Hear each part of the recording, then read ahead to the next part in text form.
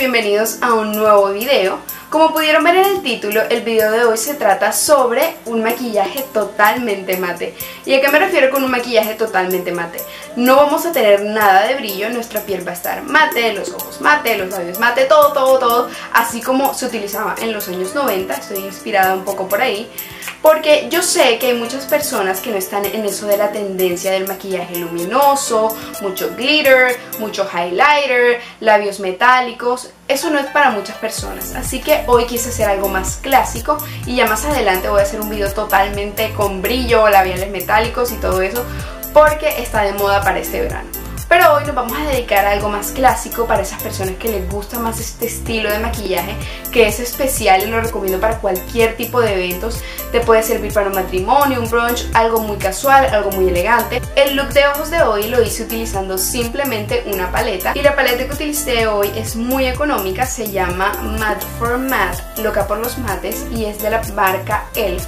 Y eso es lo que más me sorprende, que es una marca muy económica de droguería y... Eh, las sombras me sorprendieron porque son bastante pigmentadas y así vienen, es una hilerita de sombras de oscuras a claritas, todas totalmente mates para que puedas hacer estos looks clásicos y tienes muchas posibilidades de maquillajes.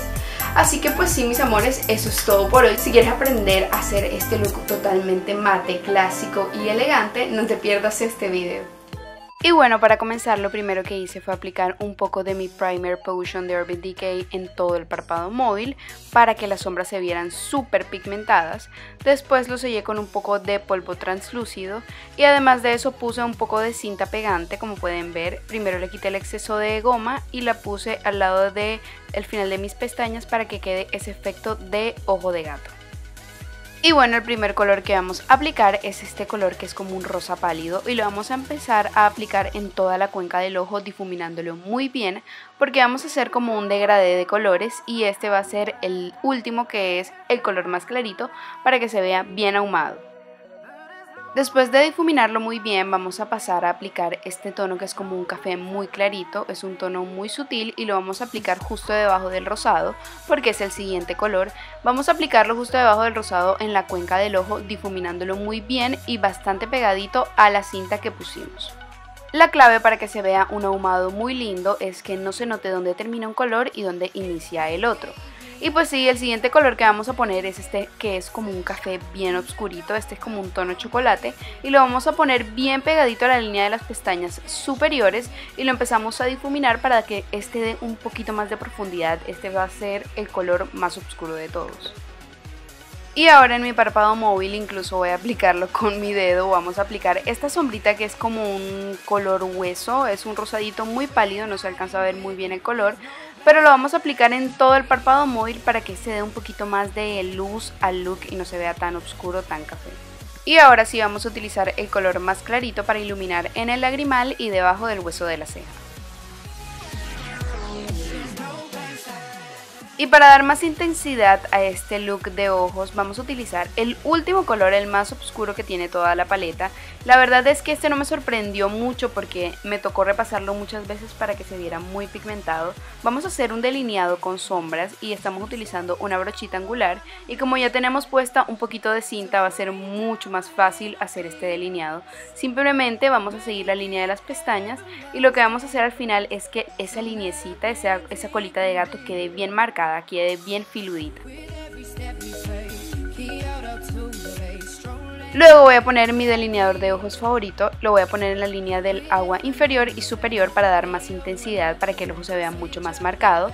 Este es un tono como cafecito, con un tono bronce que va a hacer que los ojos se vean súper lindos. Para definir la línea de las pestañas inferiores, primero tomé el color chocolate que pusimos para definir el look y lo vamos a empezar a difuminar por toda la línea de las pestañas y luego para dar más intensidad cogemos el mismo color que pusimos al final que es un color como digamos gris un café, un café oscuro, un negro clarito y vamos a definir justo el final del ojo para que se vea más gatuno, más alargado. Y lo que sigue claramente es rizar muy muy bien las pestañas, este paso me encanta y nunca dejo de hacerlo, y luego aplicar mucha pestañina para que el ojo se vea súper abierto y se vea súper lindo. También vamos a aplicar en las pestañas inferiores. Y si quieres añadir un poquito más de drama al look puedes poner unas pestañas postizas. Pasando a la piel, lo primero que voy a aplicar es mi Professional en toda la zona T del rostro y me encanta el Professional porque este deja la piel súper mate, no da nada de luminosidad. Y la base que vamos a aplicar es la L'Oreal Infalible Pro Matte. Como saben, esta base queda muy mate en la piel y queremos dar ese efecto. Puse unos pequeños puntitos en mi rostro y la empecé a difuminar muy bien con mi Beauty Blender que esté un poco humedecida. Y ahora sí llegó el momento de corregir esas ojeras horrorosas que tengo. Vamos a aplicar un poquito de corrector en la zona de las ojeritas y también vamos a aplicarlo en otras zonas para iluminar como en la puntica de la nariz y al lado de los labios.